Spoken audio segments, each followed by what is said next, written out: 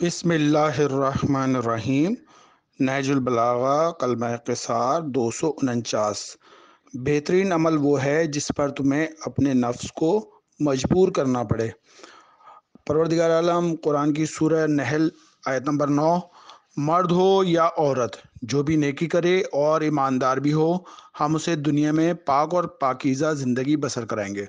सूरह कसस, आयत number sixty seven जिस शख्स ने तौबा कर ली, ईमान ले आया, अच्छे अच्छे काम किए तो करीब है कि लोग अपनी मुरादें पाने वालों में से होंगे। सूरह तहा, आयत नंबर पिछहत्तर। जो शख्स अल्लाह के सामने ईमानदार हाजिर होगा और उसने नेक काम भी किए होंगे तो ऐसे ही लोगों के लिए बड़े बड़े दर्जात हैं। आगे मौलाए कायनात फरमाते हैं, तुम्हें बातें करने से ज़्यादा अमाल के इजहार की ज़रूरत है। जो अमल करता है, इसकी कुत में इजाफा होता है और जो अमल में कोताही करता है, इसकी सुस्ती में इजाफा होता है। इल्म तेरी रहनुमाई करता है और अमल तुझे मंजिल मकसूद तक पहुँचा देता है। सवाब अमल से मिलता है, बेअमली रहने से नहीं। जिसके अमाल इसे पीछे हटा दें, इसका हसब और नसब उसे आगे नहीं बढ़ा सकता। अमल मोमिन का शार है।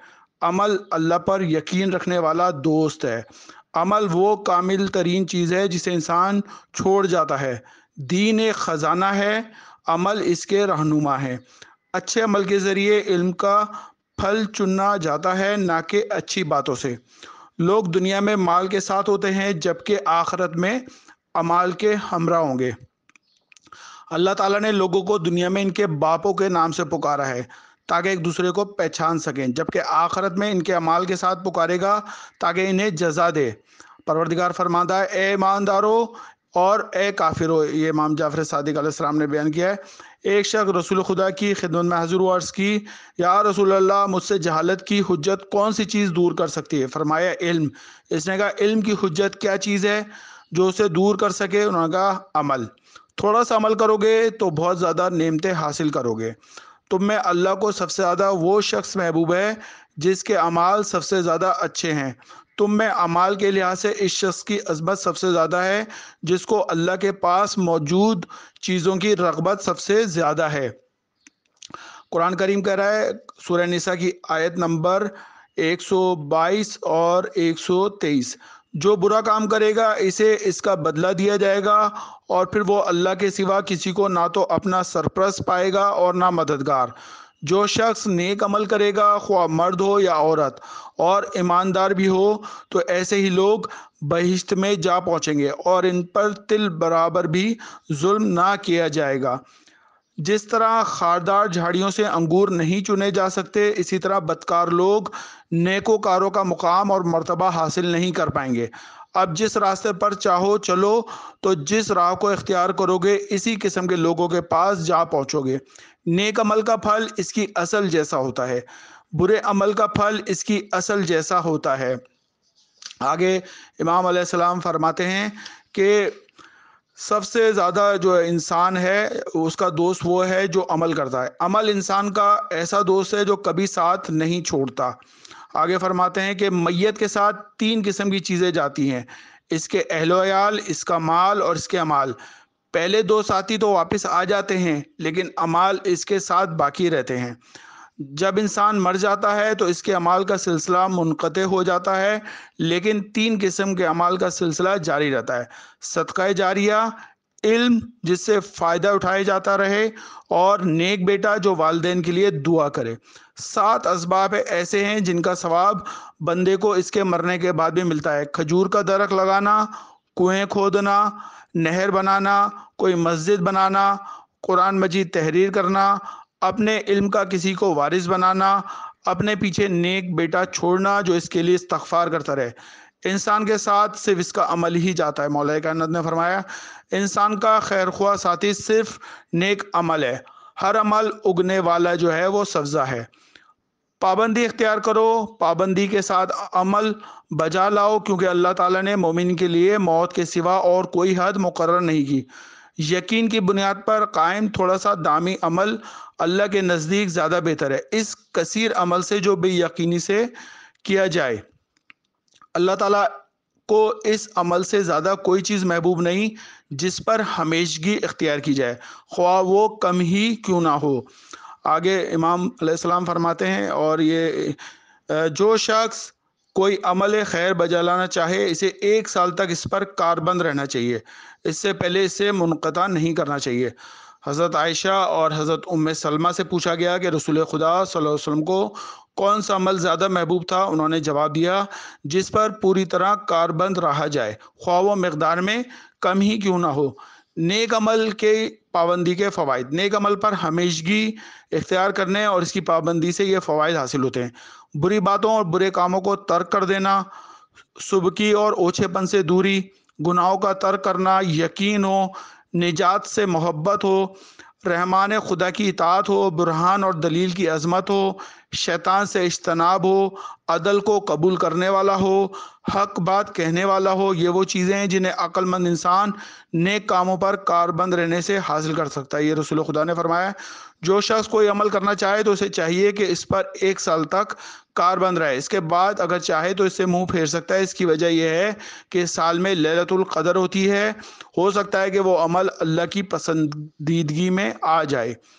वो थोड़ा अमल जिसको पाबंदी के साथ बजा लाए, इस ज़्यादा अमल से बेहतर है जिससे तू उगता जाए। थोड़ा अमल हो लेकिन पाबंदी से बजा ला जाए। अमल कम और बातें ज़्यादा करना जो है वो बेकार हो जाता है, अमल ज़्यादा और बातें कम करना जमाल और जीनत है। बातें कम और अमल ज़्यादा बहुत बड़ी फजीलत है, जबकि अमल कम और बातें ज़्यादा करना बदतरीन बात है। अफजल तरीन अमल सख्त तरीन अमल है। अफजल तरीन अमल वो है जिसके बजा लाने पर तुम्हें अपने नफ्स को मजबूर करना पड़े।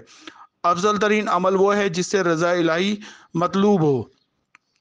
अफजल तरीन अमल वो है जो हमेशा के लिए हो ख्वा कम ही क्यों ना हो? रसूल खुदा से पूछा गया कि कौन सा अमल अफजल है? आपने फरमाया, खाना खिलाना और अच्छी बात करना।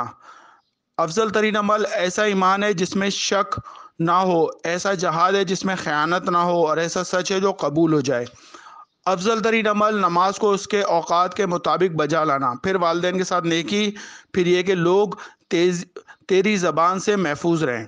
मंसूर बिन हाजिम कहते हैं कि मैंने इमाम जाफ़र सदक से पूछा, कौन सा अमल सबसे बेहतर है? आपने फरमाया, नमाज़ की बर वक्त अदायगी। तीन सफ़तें तमाम अमाल में अफजल हैं। अपनी तरफ़ से लोगों को इंसाफ पहुंचाना, रज़ा इलाही के लिए मोमिन भाई से गमसारी करना, हर हाल में अल्लाह को याद करना। ये रसूल खुदा वसल्लम ने बयान किया है। रसूल खुदा फरमाते हैं कि शब मराज अपने रब से सवाल किया कि, परवरदिगार, कौन सा अमल अफजल है?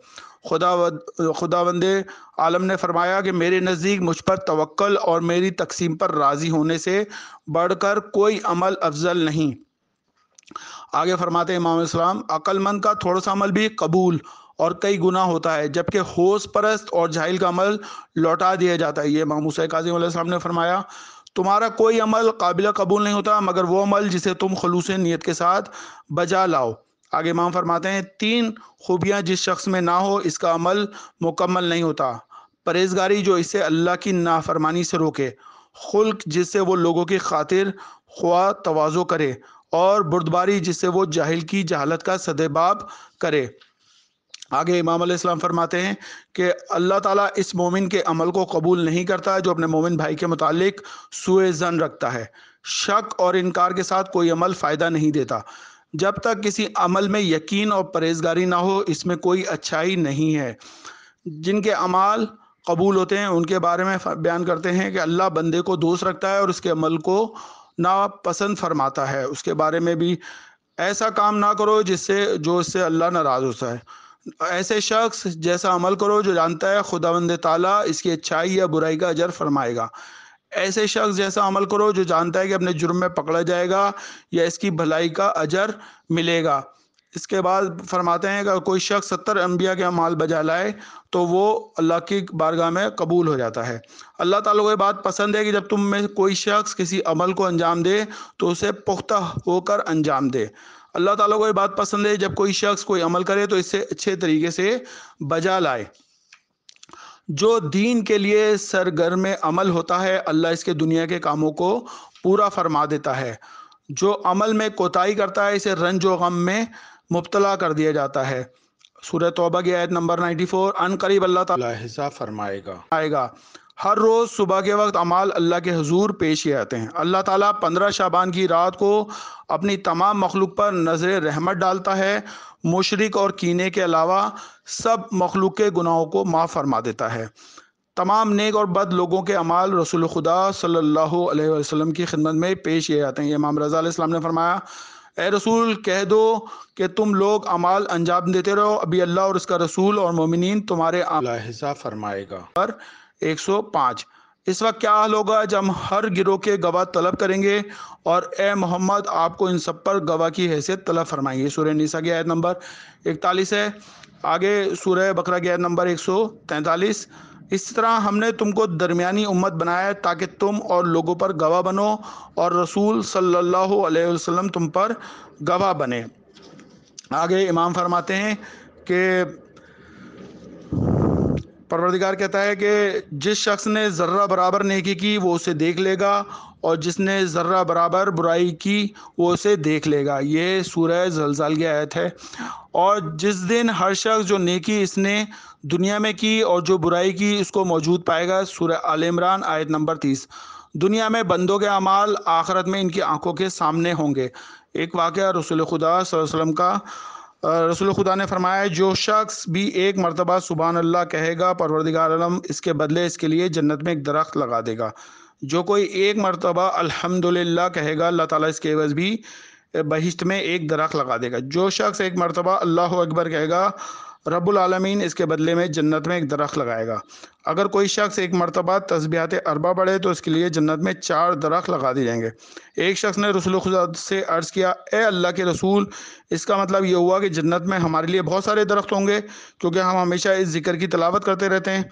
रसूल खुदा ने फरमाया, बेशक, लेकिन होशियार रहना, कहीं इन दरख्तों को गुनाह की आग से जला मत देना, क्योंकि परवरदिगार आलम इरशाद फरमाता है ए ईमान वालो, अल्लाह की इतात करो और रसूल की इतात करो और ख़बरदार अपने अमाल को बर्बाद ना करो। अल्लाह सल महमद वाल महमद